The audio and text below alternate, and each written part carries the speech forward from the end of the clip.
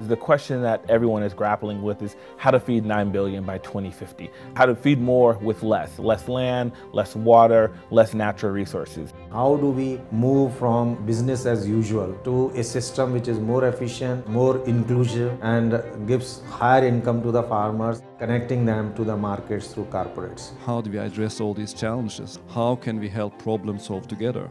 The Transformation Leaders Network has its roots in the New Vision for Agriculture initiative at the World Economic Forum. That initiative was catalyzed by the forum in the wake of the food price crisis of 2007 and 2008. Since 2009, the New Vision for Agriculture has had the pleasure to help support 16 country-led public-private partnerships and initiatives in Africa, in Asia, and in Latin America. We've seen this opportunity to bring network members together to innovate to exchange, and to put thought leadership into action. What the World Economic Forum does very well is uh, bringing many stakeholders together in this field and create a platform uh, in which we can talk about solutions for food security and hunger.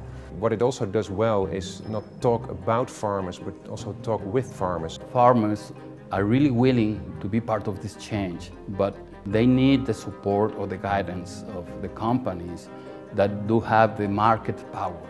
Government needs to address agriculture from the standpoint of understanding what its needs are and from the starting point of science and data and making data a prominent part of their decision-making process. When you introduce insurance into the scheme, the banks will be more than willing to adjust their interest rates for the benefit of the smallholder farmers. Just the need to increase investment along the whole value chain, not just on the input side, we think is very, very important. We design and market products and services designed specifically for rural families and, and small farmers to boost their productivity and incomes.